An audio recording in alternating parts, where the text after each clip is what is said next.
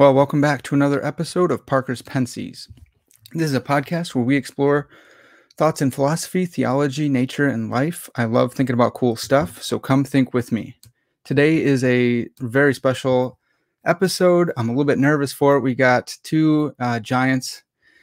Uh, we have Thomas Crisp and Tyler McNabb, doctors, the both of them, and we're going to be talking about the evolutionary argument against naturalism and different variations of it. Um, so I am I'm a little bit nervous. We have a metaphysician, we have an epistemologist. All we're missing is like an axiologist or an ethicist or something. Um, so I'm, I, I guess I'll try and fill in there, but um, no promises. So let's just pull these guys in. Uh, Tyler and and uh, Tom, I don't know what to call you guys. Is that cool if I call you guys by your first names? Yeah, yeah. Okay, awesome. I'm I'm down here. I recognize you guys are yeah. So no no worries there. Um, so I'm really excited about this argument. I I came into it uh, from reading C.S. Lewis, getting introduced to the argument from reason, and then I kind of discovered some Plantinga, and I thought, you know, Plantinga is just ripping off Lewis, and he gave him a footnote in, in Warrant and Proper Function, but blah blah. And I, as I read uh, Plantinga more and Lewis, I realized these are two separate arguments, so they're both kind of related, and uh, they can they can both be traced all the way back to James Balfour and maybe before that. Um, I wanted to ask you guys, how did you first come across the evolutionary argument from naturalism? Uh, Dr. or Tom, can we start with you? Yeah. Um, I guess I first came across it in Warrant and Proper Function. I think that was the first published version of it. Or at any rate, that was the first published version of it mm-hmm. that I had seen. And then I was a grad student um, and studied uh, with Plantinga at Notre Dame and uh, took a seminar on his book Warranted Christian Belief before it was published. And um, uh, he discussed his argument there too. And um, um, so this is where I first came across it. Is, am I am I remembering that right, Tyler? Is does it first show up in, in Warrant and Proper Function or first show up in Warranted Christian Belief? Uh, Warrant Proper Function toward the end -huh. of uh-huh. it. Yeah. Awesome. Yeah, Tyler. So so you're uh, you're notoriously a, a Plantingian. Did you did you come to evolutionary argument before uh, proper function or proper function first and then discovered? Yeah. So I actually um, used to like a, an argument from reason uh, that was developed by um, Greg Bahnsen back in my presuppositionalist days. And uh, when I heard about the evolutionary argument against naturalism, I was like, oh, this is kind of similar except it seems like it's more widely um, talked about and perhaps it, it, it's more of a threat, so to speak. And so uh, I started getting, I remember buying the Naturalism Defeated volume and going through all those essays. And uh, uh, yeah, that, that's kind of, so I actually was interested in the uh, evolutionary argument against naturalism before I was interested in reformed epistemology. Okay. Yeah, well, so some of us long for the days uh, of your return back to presuppositionalism. We we patiently await. uh, probably not going to happen, but we'll see. Um, so I've I've come to to learn in philosophy and particularly philosophy of religion that you you can't say the anymore. You can't say the evolutionary argument from natural. There's like it's always a family of belief. It's always a family of the problem of evil or this or that. And uh, from from reading some of your both of your guys' works, I've seen that yeah, they can be formulated different ways. And reading uh, like George Mavrodes, I've seen that yeah, there's a person relativity to different proofs. Um, I I see it as kind of a, a negative transcendental argument against naturalism. Uh, Tyler, you've you kind of came out of uh, presup. Do you do you see it that way, or what what kind of argument is this? Um, yeah, I mean, I suppose you could develop it into something like a transcendental argument where you say, well, here are the preconditions uh, uh, of knowledge um, rest in a theistic worldview, where you know only a theistic worldview can supply the preconditions to make knowledge intelligible. I, I suppose you can go that route. Okay. You can also give it like an argument for proper function, right? That's right. similar to, to that. But I, I, don't see this primarily as a transcendental argument. Um, I see it as as uh, an, sort of just primarily an epistemic argument that. Mm-hmm shows that uh, reflective naturalists have a defeater for trusting their cognitive faculties, and whether it be um, full stop cognitive faculties or mm-hmm. whether it be their complex abductive processes, as uh, Tom Crisp has uh, really um, uh, eloquently put.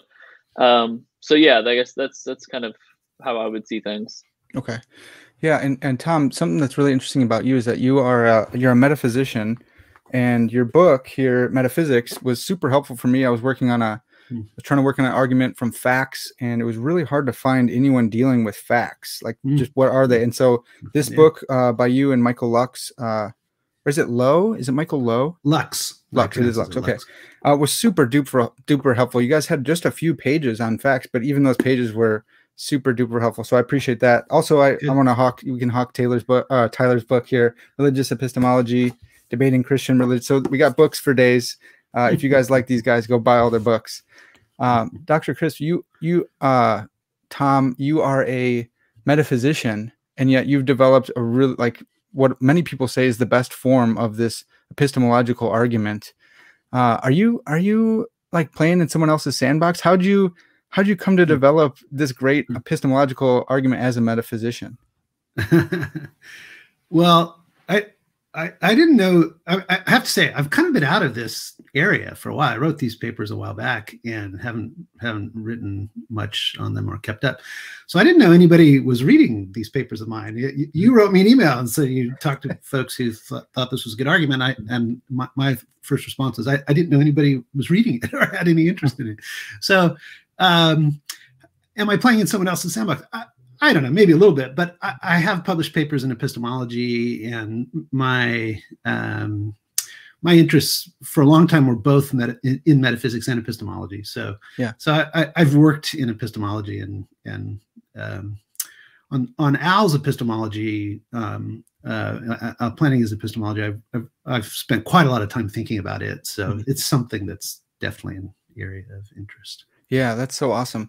Uh, so for those who can't see, because we have three people up, we have Alvin Plantinga as our background here, making a, a funny face. Uh, uh, a question for for both of you guys, uh, whoever wants to jump in first. Do you have to be? Do you have to hold a proper functionalism to employ or, or to use the evolutionary argument from naturalism against naturalism, or can you be like an internalist and also use it, or some other form of epistemology, uh, externalism, or whatever? Uh, do you, do you have to be a Plantingian to to use this argument? Well, I'll, I'll, give my take on it, and then Tyler, I, I suspect I know what you, will say.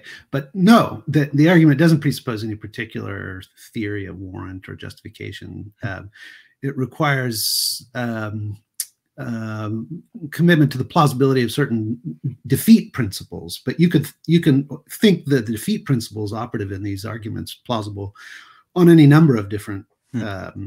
Basic epistemologies on any on any number of theories of warrant or justification. So, so I think you don't need to hold to Plantinga's epistemology to find this kind of argument. Okay. Powerful. Yeah, I, I think if you're a process reliabilist or if you endorse phenomenal conservatism, I, uh, I, I, don't see what um, tenet that's affirmed uh, in, in, in, these sorts of uh, epistemic theories would uh, entail a rejection or would show incompatibility with the evolutionary being against naturalism. Um, I, I, I, I hear that sometimes, um, yeah. that that that's the case that, that it doesn't work unless you're already a committed hard externalist or something like that um, or specifically a proper functionalist but I'm, I'm not sure exactly why that claim is made i have never really understood it um, but uh, and real quick just to comment on something uh, tom in reference to your your paper uh, especially the one that was in the blackwell companion to naturalism uh, um, among all my friends, uh, whenever we talk about the best versions of the argument, it's always your paper. Mm-hmm. Really? So, so just to well, let you know, your paper definitely is uh, uh, held in high regard with with a lot of people. So, just okay. thought I'd throw that out there. That's good. Yeah, that's awesome. And and likewise, I mean, I've heard it from Tyler, but I've heard it from other people as well. Which is, uh, oh, uh, yeah, um, Nate Lawfer, by the way, uh, one of your one of your former students. He's sure. he's he's also said that. I just talked with him the other day, and we were talking about you. So he says hi. Um, I just yeah, got an email from him. Yeah, he's a great dude. He's he's been helping me think through a lot of that. He's an internalist, so he's always poking holes in everything. I want to believe, but it's a it's a good conversation. Um, actually, Tom, real quick, are are you uh you internalist, externalist? You got some kind of commitment there? I'm an externalist. Yeah, I, I hold some version or other of proper functionalism. Um, so some kind of uh, I, am some kind of evidentialist qua proper functionalist, um, mm.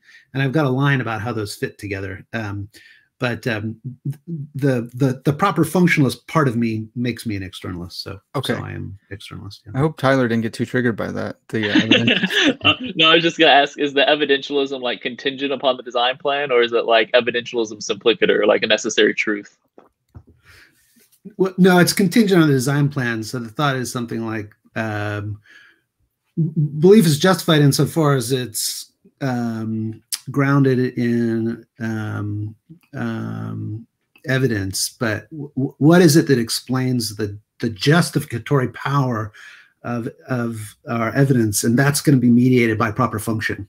That's something. So a given experience warrants a certain kind of perceptual belief. Why? And and I think that's well, it's proper function, and it could right. been different, as as Reid speculates.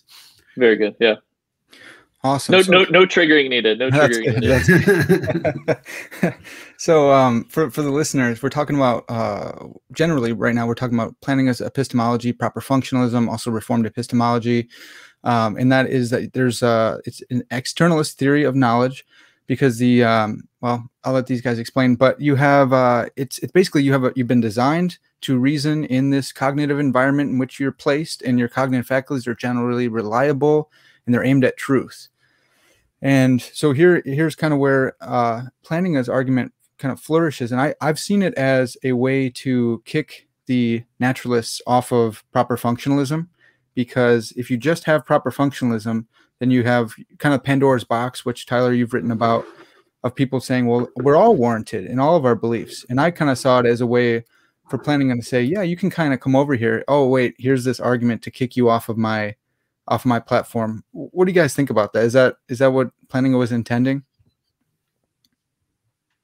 Are, are you talking about um, the idea that uh, proper function seems like this kind of neutral view, um, like various naturalists hold to, like Peter Graham, Ruth mm-hmm. Millikan. I think uh, Ernest Sosa is very close to it. Mm-hmm. Uh, so it's kind of like, hey guys, everyone can come on my ship but then Plantinga is like, but actually, you have to have an intelligent designer to make sense of proper function. Is, is that what you're talking that's, about? That's, that's, how I've read it. That's that's what I've seen. Yeah. Um, what What do you think about that? Yeah, and I, it, it kind of does seem like that, where he's like, hey, either God or evolution or both. But then you get to like uh, the end of warrant proper function, or you get to his debate with M- Michael Tooley, uh, the knowledge of God, and he's very adamant that it's like nope mm-hmm. naturalistic accounts don't work they're neither necessary nor sufficient and he gives various reasons why um, so yeah uh, so I, I, take this to be a different though distinct from the evolutionary argument against naturalism so mm. for this to be effective you'd have to argue for the truth of proper functionalism yeah. so uh, i don't know maybe you'd give various swamp man uh, arguments for proper function as, as what i my favorite thing to do mm-hmm. um, and then you would convince them of proper function and then and then you would then need to to show them that proper function requires uh, an intelligent mind behind it. Um, you would show them that the naturalistic accounts whether it be history or natural selection et cetera they don't work. Um, so anyway so I, I, would see this as a distinct so you yeah. can kind of combine these two where it's like here's an argument for proper function here's the evolutionary argument against naturalism now you have a lot to think about, but I do see them as independent arguments. Yeah, that's great. That's great. Uh, and, so, and, yeah, Parker, please, if I could just add, please, please, that, please. That, that's sort of how it worked in in Plantinga's project. There there were sort of two separate ways of showing that uh, there's there's pressure toward theism and and and and a problem for naturalism. On the one hand, there's all these reasons for thinking that the best sort of epistemology is proper functionalism, uh, and then and then there's the argument that the only way you can make sense of that is in a theistic framework. Um, and then on the other, on a separate point, there's the evolutionary argument, which, which suggests that that you need a theistic framework to make sense of um, our ability to to know. Um, and so we have sort of two separate reasons then for yeah. for thinking naturalism's in trouble. That's that's deadly. I love that. Uh, so uh, I'll kick it to, to, Tom real quick, and we'll go back to Tyler. Tom, uh, can you can you define naturalism for us? What are we talking about when we say naturalism? Uh, well, that turns out to be a vexed question, there, and there's a lot of dispute in the literature about exactly how to think about it. The way that that Plantinga always would would characterize it is naturalism is the view that there's no God or any being like God. and so the the it's not atheism. Uh, mm-hmm. It's a stronger claim than atheism because you, you might be an atheist, think there's no God of of, of the sort that classical theism uh, um, subscribes to. Um, but you might think, nevertheless, there's the Platonic good, or mm-hmm. or that there's uh, some sort of uh, world soul, a la um, um, um, oh, uh, I'm I'm blanking on um, on the on the world soul. Uh, you think of uh, Chalmers, uh, maybe, or no, no, no, no. Um, like Atman. no, no, the the, the historic uh, uh, uh, panpsychism or pan, panentheism. It'll come to me in a second. You'll you'll laugh when I. Um, um, but at any rate, it, you might believe in things like world souls or or or things like the Platonic good, um, uh, and and therefore be an atheist. But mm-hmm. but um, uh, naturalism is the view that there's nothing like those things. Uh, so there's just sort of particles and fields of force, and that's it. Uh, that's how Plantinga ordinarily would talk about it, and I think that's a perfectly fine way of thinking about it. Okay, yeah, that's really helpful. Uh, Tyler, if you have anything to add uh, on naturalism, please. But uh, if not, then or, do you actually? no, I was just gonna say I like Michael Bergmann's definition, which is like no God, no souls, no ghosts. yeah. Mm-hmm. Uh, yeah. Simple. So yeah, it, it's it's a, a, very hard thing to define. Uh, yeah. So I, I I would just go with something simple like that probably. That's great. That's why I asked you guys, and I didn't try to define it myself, um, because it's notoriously difficult. And people write books and books and books on it. Uh, Tyler, so uh, one of the one of the cool things about this episode is that uh, Tom's Tom's argument is unique uh, it's a particular type of, of evolutionary argument against naturalism. Whether it fits or not, we can talk. But um, can you just kind of lay out like the general family resemblance of evolutionary arguments for us, and then we can jump off from there into Tom's particular view? Yeah. So um, I guess the the, the key th- one of the key things, at least, is that there's this idea that if you hold to naturalism and evolution together, uh, in conjunction together, then upon reflecting on the implications of that, you're going to have a defeater for trusting your your cognitive faculties. And so, as I understand it, at least, um, organisms have certain mutations. Uh, most of these mutations are not advantageous for the organisms and it, its survival. However, on occasion, a mutation could occur that does aid the the organism to uh, be better off in surviving. Um, uh, and you have enough of these mutations, right? You're, you're going to ultimately get a new organism and uh, the you know ultimately uh, sort of uh, the the purpose, if we can call it that, of our faculties is to uh, get our body parts in the right place at the right time. So this is Patricia Churchland's famous four Fs, right? They're for fighting, fe- fleeting, feeding, and reproducing. Yeah. And so, uh, yeah, but upon reflection of this, upon reflection that uh, our faculties aren't directly aimed at truth, um, then um, uh, why why why should we trust our cognitive faculties? Uh, if if they're sort of there and kept for the purposes of survival and reproduction, then it seems like we we shouldn't trust our faculties. We'd have a defeater for trusting our faculties, and including a defeater for the beliefs they produce, which include the belief in naturalism. So, so something like that is a generic very brief, uh, hard sketch of the argument. I, I take it. Yeah, yeah, that's great. Thank you. Um, and so the aim, kind of, I, I think in the in the general, like, e- we have to find a name for it. It's like every other argument you can shorten. This would be like Ian or something, maybe. Do, do people call it? What do we call this? E E double A N. That's still kind of a mouthful. so E double A for Ian. I'm going to say Ian sorry everyone that that's grading but so for for ian the the general the the target uh or the i think the thing doing the work it's like the the truth directedness and i think i've heard Plantinga said that that he it, it isn't a skeptical threat argument but it, in my mind maybe he hasn't said that it seems like a skeptical threat it's like if you do hold these two uh uh N and E together, then you have skeptical or you have global skepticism, which undercuts N and E. Is that what, what do you guys if, think if about? You reflect, if you reflect on uh, naturalism and evolution, these tenets, and you you realize that the probability of having reliable cognitive faculties is low or inscrutable, uh, then then that's where the skepticism is going to come about. And and so if, if you then you're going to have a defeater, and then if you have a mm-hmm. defeater, mm-hmm. you're going to have a defeater for the beliefs they produce, including the belief in naturalism.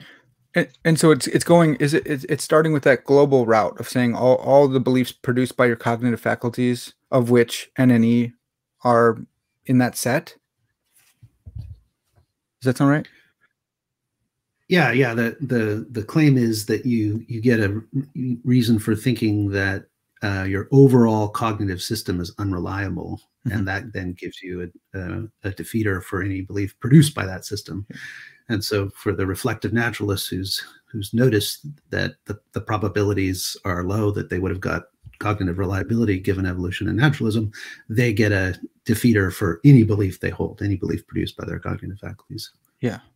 Okay, and here's where we get to the, the uniqueness of, of Tom's view, in that uh, you have limited the scope from the from the global skepticism to just like in, in one paper, uh, one of your papers on uh, what's it called, uh, evolutionary objection to the argument from evil.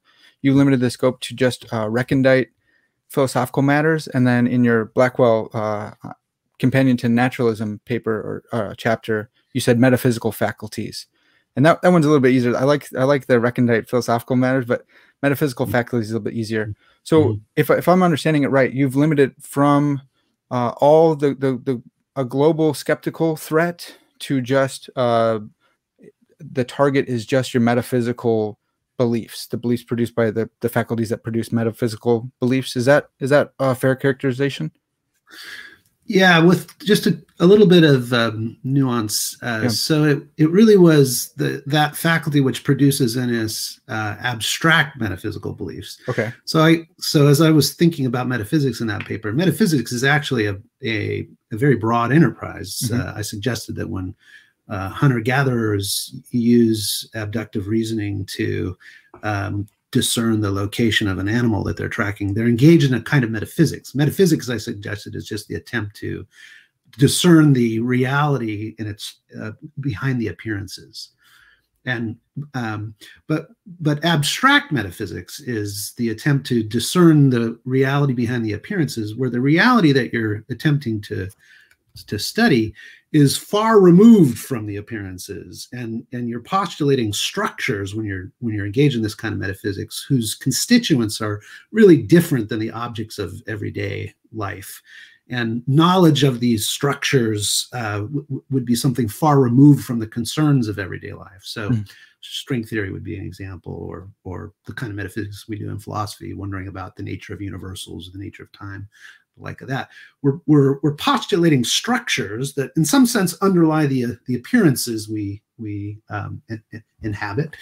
And those structures are oftentimes um, populated by things that are really different than, than the things of everyday life. And knowledge of these structures is um, oftentimes very far removed from the everyday concerns of life. You don't need to know much about these things in order to get around in the world. So that kind of metaphysics um, mm -hmm uh, abstract metaphysics. It, it, was it was our the faculty that enables that I was thinking about, and that's what I called our metaphysical faculty.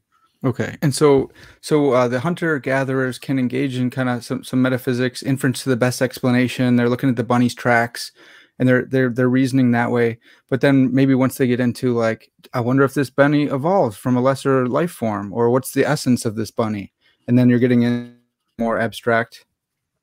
Exactly. Okay. Yeah, so they start wondering: uh, Is this bunny a bundle of tropes? Uh, is, does this bunny uh, uh, persist after death? And they're like, now, now you're starting to get into abstract metaphysics. Oh, just just real quick, following up on on uh, I brought up facts. Um, would if if you were discussing the facts of the matter, uh, and facts are abstract, then would would that fit in the set of abstract metaphysical beliefs? Well, when you say facts are abstract, do you you could mean a couple different things by that? You, you might have in mind a metaphysical claim to the effect mm-hmm. that facts are not concrete objects. Uh, yeah, is, is, that is that that's the, that's kind of what I'm thinking. Yeah. No, that that uh, that's abstractness along a different dimension or a different okay. sort of abstractness. Okay. So the kind of abstractness I was thinking about was abstract metaphysics is metaphysics that that deals in recondite issues that deals with um, issues that are far removed from the everyday concerns of life, mm-hmm. abstract in that sense. So in, in that kind of metaphysics, we're postulating these structures underlying the appearances. And but knowledge of these structures is really far removed from the everyday concerns yeah. of life. And and the things that we're postulating in these structures are are bizarre kind of um, uh, outre entities that are very different than we see in everyday life. It's mm-hmm. abstract in that sense that I'm yeah. talking about. Okay, that's that's helpful. Ty Tyler, uh, do you so so you like this argument? You've recommended it to me as well. Does this uh, does does this category of abstract metaphysical uh, beliefs and, and the faculties that produce them does this just not fit in the four Fs at all? Like, how, how do we think through that? Yeah. So uh, I think you would need to get into the kind of the basis of the argument where, and Tom will do a, a much better job at doing this than I would ever do, but um, where uh, the idea is that for abduction, abduction requires imagination. Um, you have to think of like different competing hypotheses uh, that are relevant in order to determine which of the uh, which hypothesis is actually the, the the best one, which which hypothesis is true, and and then obviously you have to.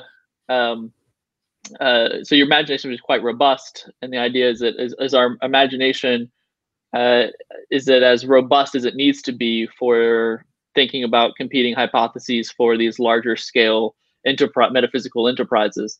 And so it just doesn't seem like uh, that we're in a position to make a judgment call whether or not our imagination capacities are tracking in this sort of way hmm. uh, on, on, naturalism and evolution. Uh, at least that's how I understand uh, Tom's argument.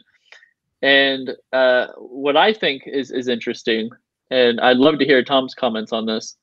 Um, uh, so, in, in, one of my works, I briefly mentioned Tom's argument, and then I say that, that I think it can easily still turn into an, an evolutionary argument against naturalism, not just a argument against naturalistic metaphysics. Because if um, atheism or naturalism is a belief that's derived by these complex abductive faculties. So, say you're like getting all the information in regarding the problem of evil, regarding the problem of divine hiddenness, uh, fine tuning. You're taking in fine tuning arguments. You're taking in Kalam cosmological arguments, you know, etc. And then you're utilizing this great abductive process. You're, it seems like you're using these uh, abductive processes throughout all of this, and then one final go at it, so to speak.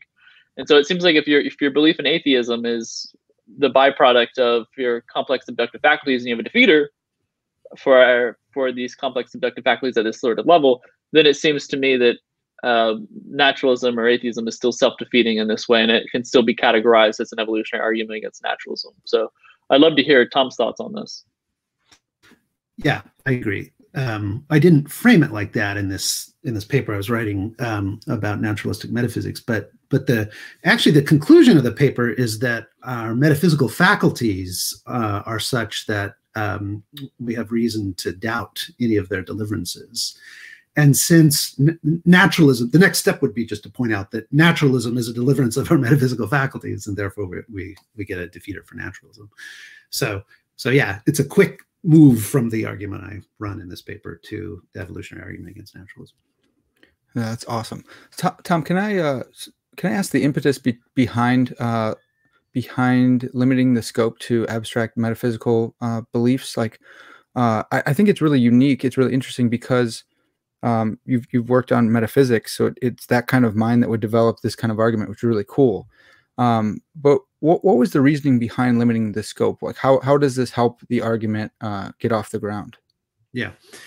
Well, so in the literature on on Plantinga's argument, uh, Ian, as you're wanting to call it, Parker, um, um, there was quite a bit of pushback to the effect that um, if our uh, ancestors had cognitive faculties that were adaptive, then we we should expect uh, them to have co overall cognitive reliability. And this gets into these really, uh, I think, subtle issues about how to understand what beliefs are and understand what truth is. And but but um, at any rate, it's not it's not just obvious that um, um, if our uh, ancestors had their uh, faculties produced by the usual evolutionary story, that there would be overall cognitive unreliability. I mean, I buy um, Al's argument, uh, mm-hmm. but but there was a lot of controversy about that part of it, um, and and I I don't know exactly what the impetus was, but I it it, it I started thinking, well, maybe that's right, but um, what would be surprising is if our uh, uh, ancestors um, got cognitive faculties that were reliable with respect to th these really abstract questions, these that far removed from the everyday concerns of life. Um, the, the, the usual story is that um, uh, um, our cognitive faculties are about the same in terms of uh, structure and capability as were our evolutionary ancestors um, in the Pleistocene era, uh, somewhere between I forget the numbers, like 2.5 million years ago and 12,000 years ago, or something like this. Mm. Um, and um, and so um, the the story is that our ancestors were uh, had brains roughly like we do, and but they were using them on the plains of Africa to to function in hunter gatherer societies. They they were not uh, engaged in um, uh, high power uh, metaphysics, uh, and they didn't need to do high power metaphysics to survive in the kind of environment they were in. Mm-hmm. And so, the, um, wouldn't it be surprising, I thought, if evolution should have crafted in them faculties that were reliable with respect to these really recondite, um, uh, far removed from everyday reality kinds of questions? Um, um and that that then uh, suggests the, the, the question how how how likely is it that evolution did this? And and I thought well uh, it's either not very likely at all um, or it's inscrutable. We just can't know how likely it is. And either way you you you, you get a version of of the uh, evolutionary argument against naturalism up and running if you just have this weaker claim. And it it, I think this weaker claim is much, much easier to defend than the stronger claim that Al's making about overall cognitive unreliability given evolution and naturalism. Yeah. Oh, that's great. I, I, I think you're right there. And it does remind me of, again, of, of Lewis's Miracles or maybe De Futilitate, a little essay that he wrote where he, he, he talks about this as well. He talks about the, the, the grand myth uh, of, of naturalism and how what people usually say is, yeah, that they started out as really low form, uh, low resolution cognitive faculties that just through this process of evolution has sharpened and sharpened. And we kind of accidentally came to this point of being able to reason about mathematics and abstract objects. And it was just kind of the, the rising tide lifts all ships. And so I like that. I like that your argument is is easier to defend and it still targets those things because the whole conversation is a conversation in uh, abstract metaphysical uh, beliefs and and using our our cognitive faculties which produce those. Uh, so Tyler, I'm interested again if you could just go over uh, kind of repersonate that idea um, of broadening it back out because I think Tom's right that that this uh, it's it's easier to go in, it's it's easier to defend. But then if we can broaden that back out into the global idea, the global skepticism, that would be fantastic. Yeah. So I think the the the pushback about trying to apply it to all types of beliefs, right, is something like this. Um, that uh, beliefs that aid in survival and reproduction just will be true beliefs, right? Uh, because if if you need to survive and say get by getting water and drinking H2O, right, um, then you need to form the correct belief that water is that way, mm-hmm. and I need that water, right? And so the the genius of Crisp's move is that uh, you can totally say, "Yep, that's right. Sure, I'll concede that," but you still have this problem with these complex abductive matters. Um, Plantinga's kind of response to to the sort of objection where it's like, yeah, true beliefs will just be, or beliefs that enable survival and reproduction will just be true beliefs. Um, it, he has like this witch response mm-hmm. where it's like you know imagine everything is a witch like these people they've evolved in such a way where they form beliefs that uh, this is a computer witch this is a book witch right this is a stuffed animal witch um, you know you, you, you everything's a witch well if you form the belief that everything uh, possesses the property of, of being a witch um, then you you can still form beliefs that aid in survival and reproduction, and yet those beliefs will be false. So, for example, when you form the belief that that tiger witch is coming to eat me, well, that's that's a false belief. It's, not a tiger witch, right? But nonetheless, uh, it's going to get your body parts in the right place at the right time. So then you have this whole debate about whether or not um, we can, uh, whether or not this is really a good solution to to to the problem. And Crisp's argument co- totally just kind of ignores all all of this literature, uh, and and I think hits hits to the hits to the heart of the matter. I think. Could uh, Parker? Could I just add a little bit to that because um, the the part about abduction, the way that it, uh, I wanted to uh, sort of follow up on on how that fits in. Um, the way that I was thinking of the the role of that in the argument was like this. So you ask the question, how how likely is it that our very distant evolutionary ancestors would have got cognitive faculties reliable with respect to abstruse metaphysics? Mm -hmm. And looks like uh, the right thing to think is, well, we don't know. I mean, it's it's inscrutable, or or or that, or it's low. I mean, it seems improbable, in fact, that they would have got faculties any good at that. And a response um, um, goes like this: Well, we have some reason to think that our evolutionary ancestors engaged in primitive forms of abduct, abductive reasoning. Uh, we know that from the study of uh, hunter-gatherer societies around, around now. Um, and um, so, isn't it then not very surprising that that that once our ancestors got a, a, a rudimentary ability to engage in abductive reasoning, that they should have just been able to redeploy that into other domains. Mm -hmm. Uh, so they so it's in much the same way that once you learn the simple rules of arithmetic, you can redeploy it all over the place. You can uh, in, in, in in basically any domain.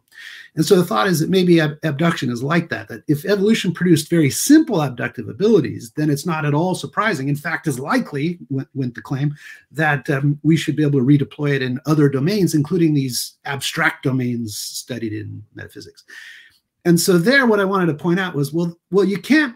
That's not uh, that move isn't obvious. The, even if it's so that our ancestors got a kind of rudimentary uh, abductive ability, um, and it's not obvious that it could be extensible into other domains. And, and this has to do with the, the thing that Tyler was getting at, which is the, the way that the abduction works is it requires a kind of imaginative construction of hypotheses, which you then assess via various selection principles, simplicity, explanatory power, and so forth. Um, but um, it, it, in order to uh, deploy our abductive uh, faculties in a domain, it has to be the case that our imaginative abilities are sufficiently robust um, so as to imagine uh, hypotheses that would be operative in these domains. Um, and um, even if it's so that our ancestors had abductive skills, what's the probability that those skills were such that they included imaginative powers uh, sufficient for uh, reliably deploying abduction in these abstract domains. And there I argue that, well, we don't know. I mean, uh, yeah. it's not just obvious that that uh, it's not a priori obvious that they would have had the requisite imaginative power to redeploy abduction into these other domains. Um, maybe you can give an argument. Maybe there's some kind of argument that, in fact, they had the right kinds of uh, imaginative powers to redeploy abduction in, in these ways. The problem is the only kind of argument you're going to be able to give, it looks to me, is is an abductive argument that that that would be so. And since um, and, and, moreover, it would be a an abductive argument that looks like it's trafficking in some pretty abstract metaphysics, postulating structures far removed from the everyday concerns of life and so forth. And so it's it's using the very faculty you're claiming is uh, to show the reliability of. Um, but that's not a very strong argument. If you have to use ab, uh, uh, abstruse metaphysics to show that abstruse uh, metaphysical abilities are reliable, then you you don't have very strong arguments. So so that's how that all went. Yeah, I love that. Tyler, anything to add on that? No, no, it's a good argument. You should believe it. Yeah, that's right. That's right. well, so I, but not I, if you're a naturalist. That's right. That's right. So I think I think that uh, someone might be able to, uh, someone might want to counter and say, yeah, but if at this lower level uh, of sur survivability, our our uh, beliefs, our our IBE, our inference of best explanation faculties are truth tracking because, like Tyler said, we kind of uh, we need to believe water's that way. Um, and so, if they are truth tracking, then as we evolve up and they get sharper and sharper, there'll still be truth tracking onto even our metaphysical and abstract metaphysical uh, reasonings. But I think the whole point with the four Fs is saying that they're they're not directed at truth, and you don't really have a reason to believe they're directed at truth because survival is easier. Survival beliefs are easier. If you can approximate the truth and get your body in position for the four Fs, then it's much easier to survive thinking that two plus two equals 4.9. Uh, I mean, the, the right answer, there's one right answer. There's a billion wrong answers that get you close enough to survive. And I think that maybe that is where uh, it starts to come apart the truth directedness versus belief directedness. And and then when you when you get back up to the the higher levels you think well uh, our metaphysical beliefs don't really help us survive that much. Like it doesn't really matter. We're all here. We all have different metaphysical beliefs and yet we can all go find the yogurt in the fridge and it doesn't affect uh, i think that's i don't know. Yeah any any thoughts on on what's doing the work here the the, the truth condition. I, I, think that's where it, it, starts to come back in that we need we need our cognitive faculties aimed at at truth. And again, uh, I'm I'm pulling back into proper function kind of stuff. And sorry to keep fusing these two. any thoughts on escaping the evolutionary argument there?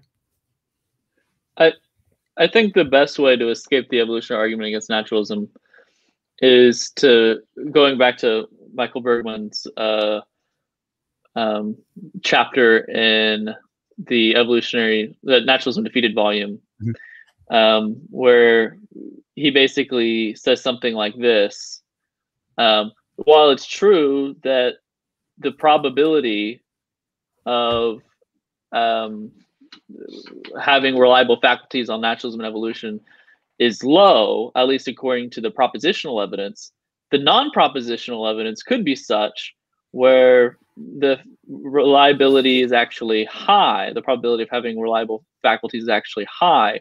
And so the non propositional evidence is going to sort of triumph over the, the propositional evidence that's kind of in conflict with it. And so it's just kind of like a, a very Reidian response. Um, so you know, imagine this. This is this is probably how I'd characterize the what, what's behind Bergmann's um, response here.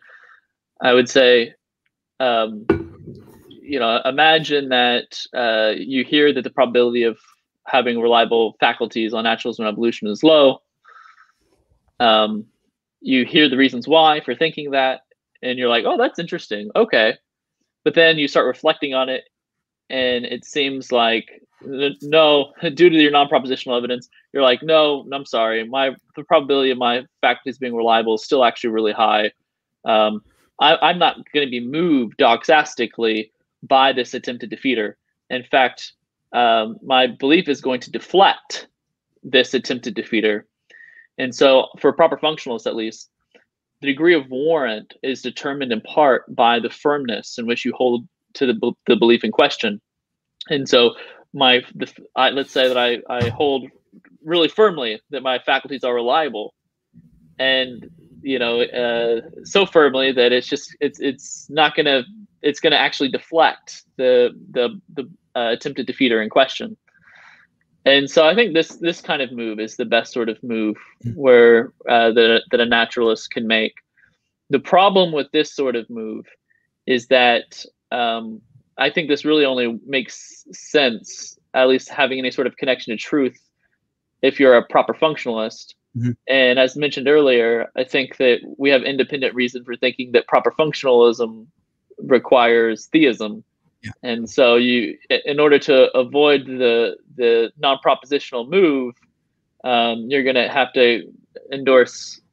Uh, uh, sorry, sorry. In, in order to um, endorse this non-propositional move by by Bergmann, uh, you're going to end up having to endorse proper functionalism, and in order to endorse proper functionalism, you're going to have to endorse theism. So it's not going to really help the naturalist, I think. That's fantastic. Yeah. Can I come, please? Can I come? Um, yeah. So that paper by Bergmann is terrific because it it um, at the heart of it is an intuition that has been deployed in various thought experiments by Plantinga in different contexts. So, so he says, uh, imagine that you clearly remember uh, spending all day yesterday in your office working, and somebody presents you very powerful propositional evidence that in fact you're in Arizona robbing a bank. Um, it might be, you, you know, that you're not you, you might have to admit that that the, the probability that you were in your office in California working all day yesterday, given all the propositional evidence that's been presented to you, is low or inscrutable. You're, you're not quite sure what to make of this propositional evidence, but you very clearly remember being in your office and have no reason for thinking that your faculties are massively malfunctioning. And and so this clear uh, memorial belief function as as a kind of defeater defeater. Uh, uh, uh, this uh, and it's it's it's not propositional evidence that's it's doing the defeating it's just this clear memory this clear memorial belief in the phenomenology that goes with it and you, you might have something like that with respect to belief in the reliability of your own faculties. You, you might have this very powerful belief that your faculties are reliable. Uh, tyler I, I wondered i wonder what you think about this though as a as a, a uh, response to the to the kind of objection you're raising to this Reidian um, strategy. What, what if you thought, what if you were uh, some kind of um, uh, evidentialist and you thought that there was this phenomenal phenomenology of seeming? Um, that that could that could have justificatory uh, power. So then, if you have a really powerful seeming that your faculties are reliable, maybe that could function as Reidian evidence uh, for the reliability of your faculties.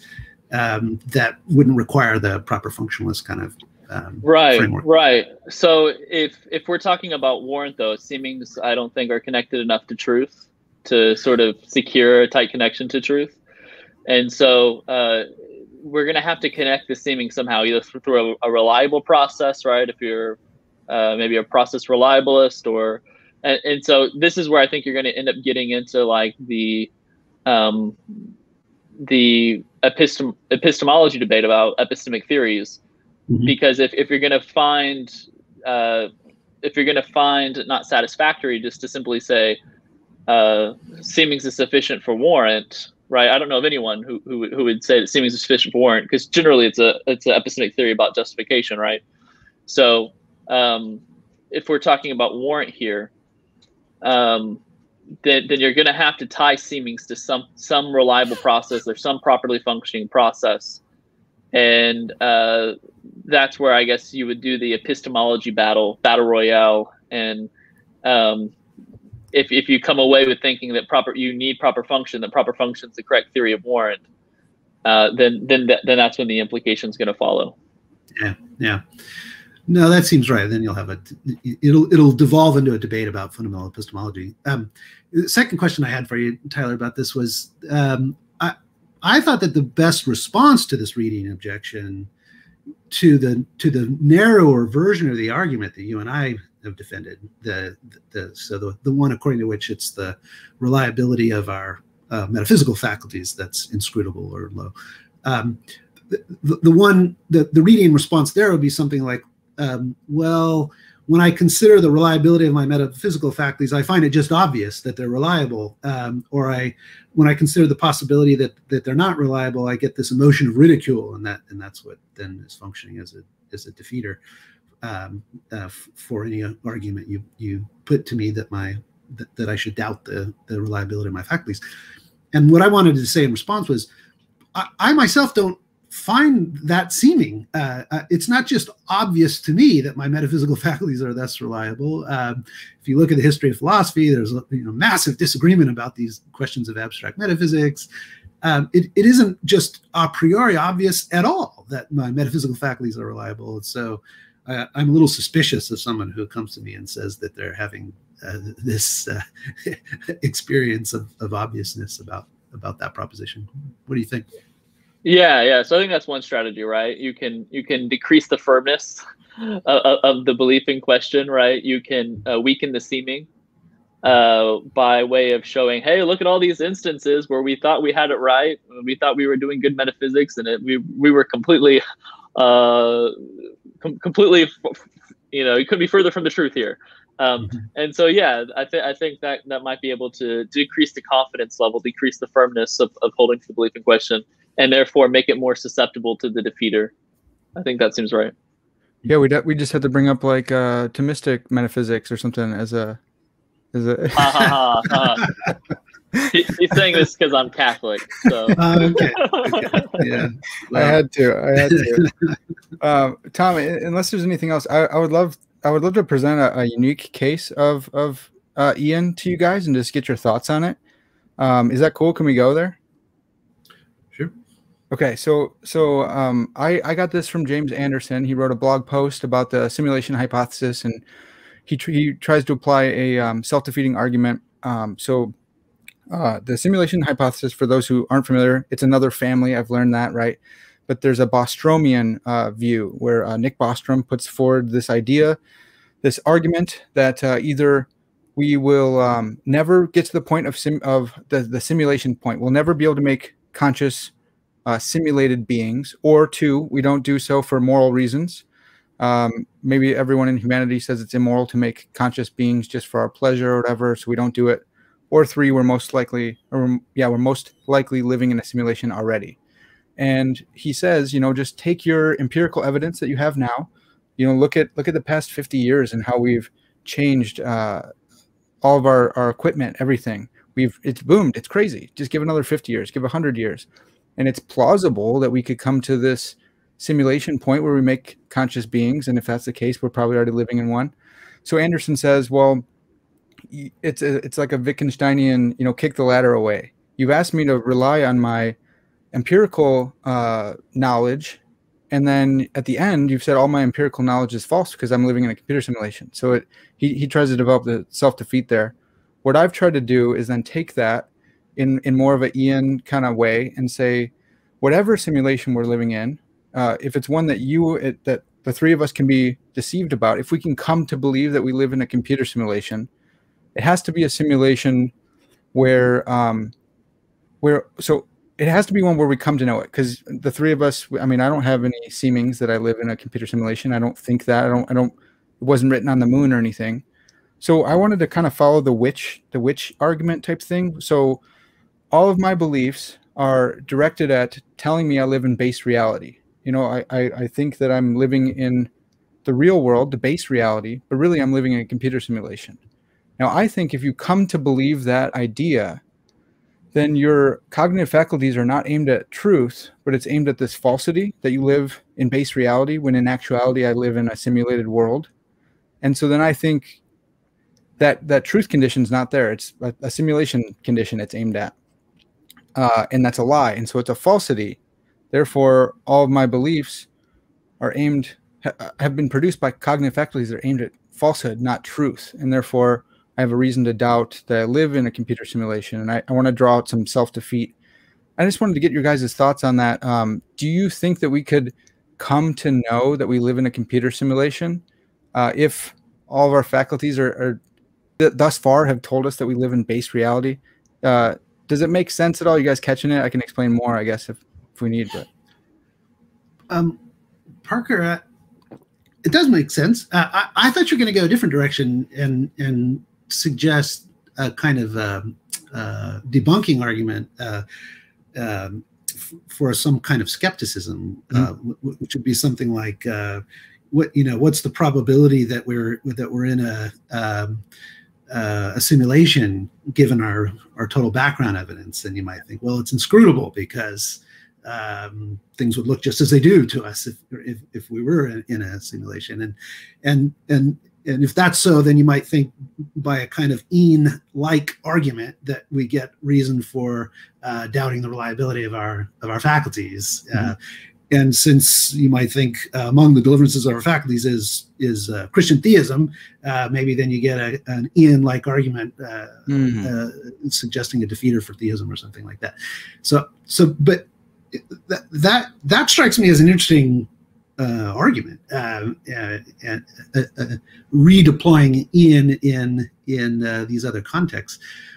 Is, is, that in the neighborhood of what of what you're thinking, or you're or you're you're not exactly well, wondering that? So, uh, insofar as producing a defeater for Christian theism, um, that is what I encounter. So I'm a I'm a, a, campus minister. I work with athletes in action, and so sharing sharing the gospel on campus. You know, uh, discipling uh, wrestlers and other uh, athletes and this comes up all the time because everyone listens to Joe Rogan, and Joe Rogan has Joe. Every other guest talks about uh, the simulation hypothesis. So people will, will toss that out as kind of a smokescreen or a defeater and say, well, isn't it possible we're living in a computer simulation? And so I want to develop an argument, uh, and I, I have tried to uh, that that says that the that idea, if you come to believe that, then you have a reason to doubt your cognitive faculties because they haven't been aimed at truth. They've been designed by a, I mean, it doesn't have to be an evil uh, simulator, but whatever the case is, the simulator designed you to think that you live in base reality. And whatever reasons they have for doing that, maybe they're studying you, maybe they're studying people. Uh, Elon Musk will say stuff like this, where they say, you know, the, the 2016 election is obviously evidence that we live in a computer simulation because Trump wasn't supposed to win, but the simulator said, let's see what happens if Trump wins in 2016. Now this chaos happens. So people will use that that that kind of view to say we there's providence. They kind of hold to like a providence view, but it can't be God. It's a simulator. Mm-hmm. And so I just think if if you do come to believe that you live not in base reality but in a simulated world, then you have a defeater for your cognitive faculties because they're not aimed at truth. So that's kind of what I'm getting at. And yeah, Tyler, any, any thoughts? I, I wonder if two things. One, I wonder if you can tell a story that's like uh, analogous to like the Holy Spirit coming and, and repairing our faculty, repairing our our uh, sensus divinitatis. Yeah. Maybe like the simulators can come and start repairing our faculties. Yeah. um, or in, in some way because we're simulations, we're computers, uh, right. programs, right? So mm-hmm. you can do that sort of thing. And and secondly, uh, I guess just immediately, um, having not given much thought about this, yeah. uh, um, it seems absolutely possible that there could still be some processes, some cognitive systems that uh, still are functioning properly and aimed at truth. Maybe some aren't, um, but maybe some are, and maybe it's those faculties that are functioning properly that um, are able to uh, to achieve knowledge about that we're in a computer simulation or something like that. Well, so, so, those are my two quick thoughts. Yeah, no, those are great, and those are great thoughts. And the second thought reminds me back to to Tom's argument that, um, yeah, so maybe maybe our a priori knowledge uh, is is left unscathed. Uh, we could go into you know the impossibility of strong artificial intelligence or something like that from Searle's argument, but sticking with this one, uh, if okay, so maybe our a priori beliefs, but I, I, whatever the case, our abstract metaphysical beliefs are not in that protected class of a priori beliefs. I don't, I don't think maybe they would be, but I'm wondering if we could um, employ Tom's argument and just uh, limit it to abstract metaphysical beliefs, which of which the simulation hypothesis is one. So, yeah, the the the, the limited version to to target metaphysical beliefs and the simulation hypothesis is a metaphysical belief. So if you come to realize that you live in a computer simulation and your your cognitive faculties are aimed at making you think you don't live in base reality, uh, they've been designed that way. So now you're coming to this belief that even though your cognitive faculties have been designed to tell you a lie or to make you believe a lie, now you believe the truth. This one's true. This one belief about simulation hypothesis is not affected by the be aiming at a falsity.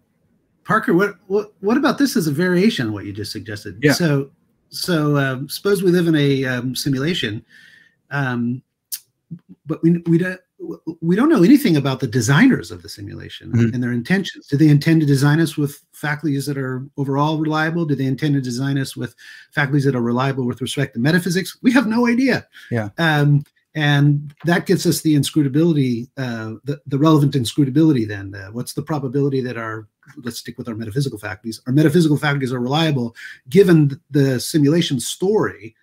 Um, we don't know; it's inscrutable, and and that and then that's enough yeah. to get us a defeater for any deliverance of our metaphysical faculties, including belief in a simulation. Because they're uns- inscrutable, uh, we can't decide whether they're uh, truth tracking or whether they're generally reliable or not. That's good. Okay.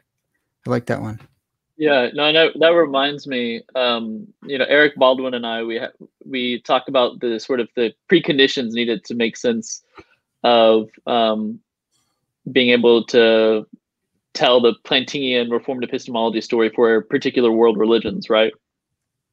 And with Islam, we talk about, uh, you know, God, he deceives, uh, I believe it's Surah 8, he deceives Muhammad and his army for a good reason, not for malicious reason, but for, you know, for, for good reason.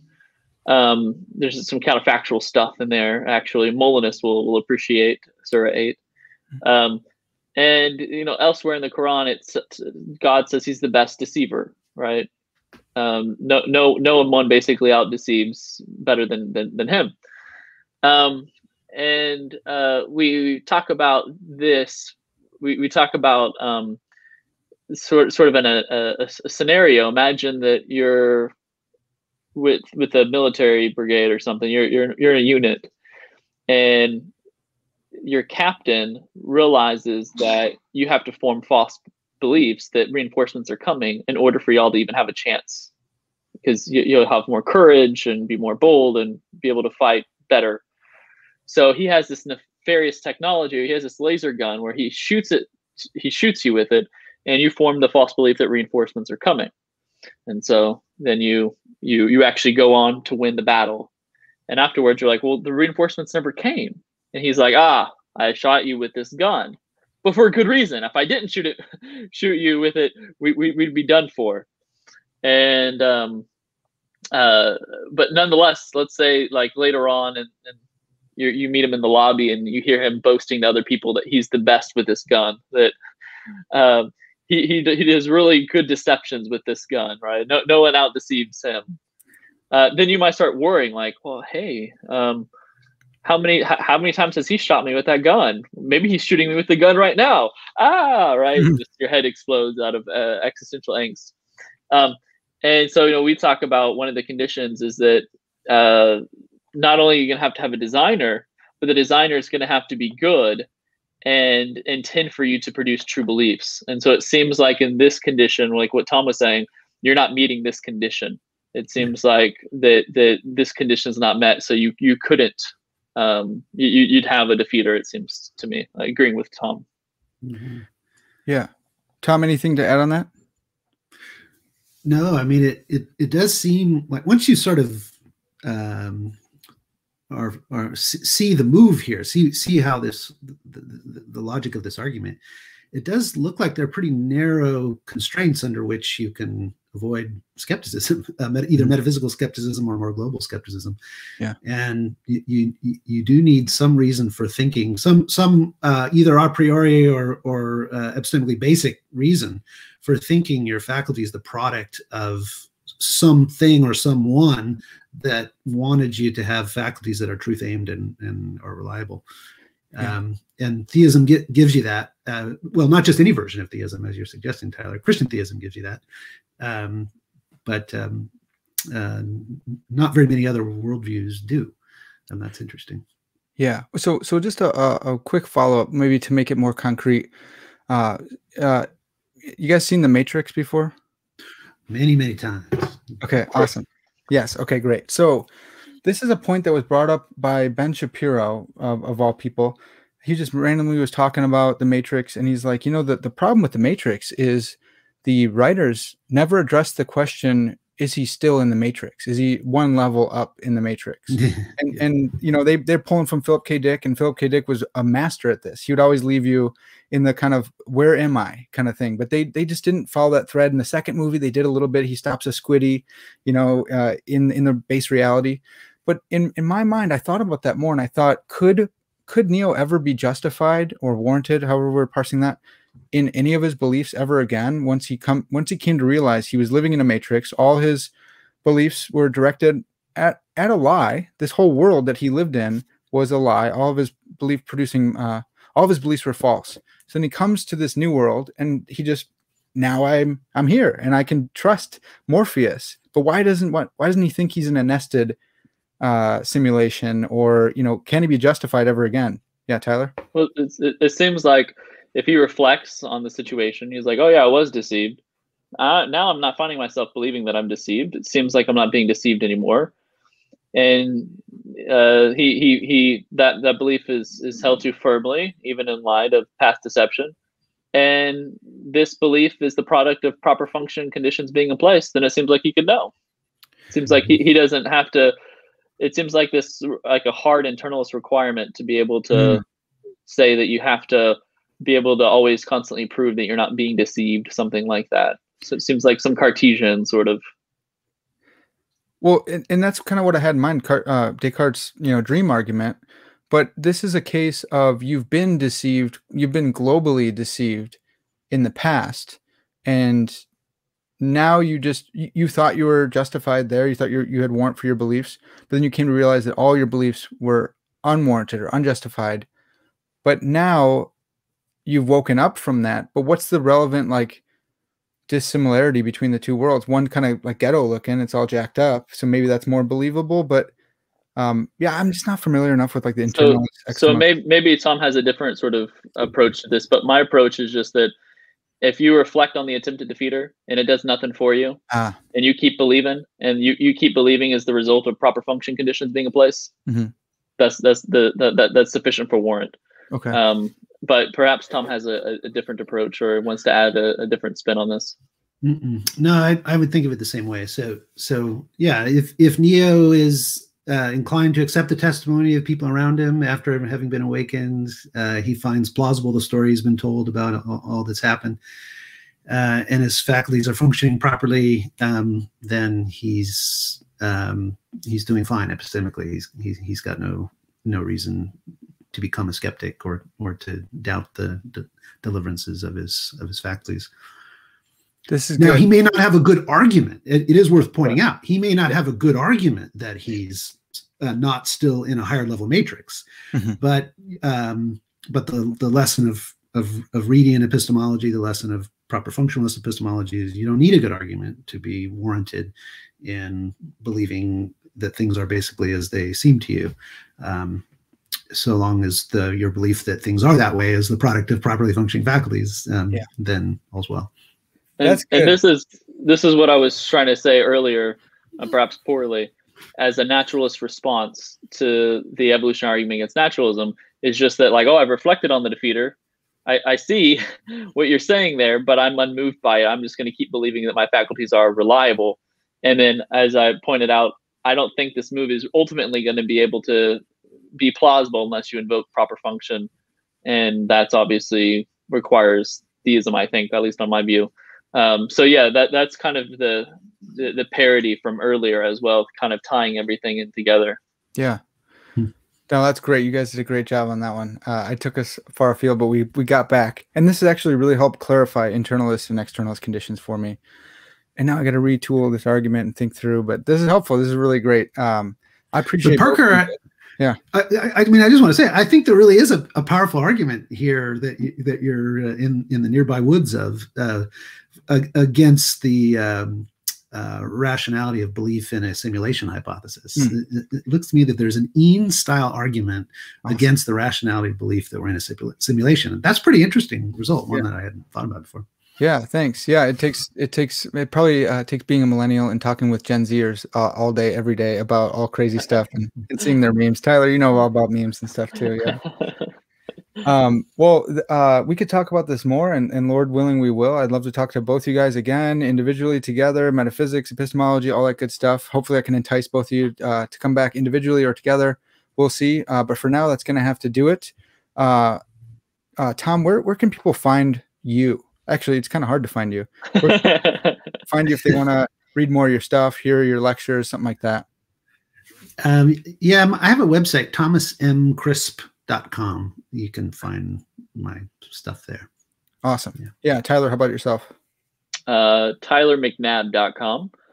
And uh, obviously, you can find me on Twitter, Facebook as well. And feel free to add me and ask questions. Awesome. Yeah, uh, you can find me at parkersettecase.com. So there's a, a theme, uh, which is awesome. Uh, appreciate you guys so much. This has been really fun, and thanks for letting me. Thanks for indulging me with simulation kind of stuff. I know our our audience is going to love it. We talk about it all the time. Um, that's going to have to do it. This has been Parker's Pensées, and as always, all glory to God.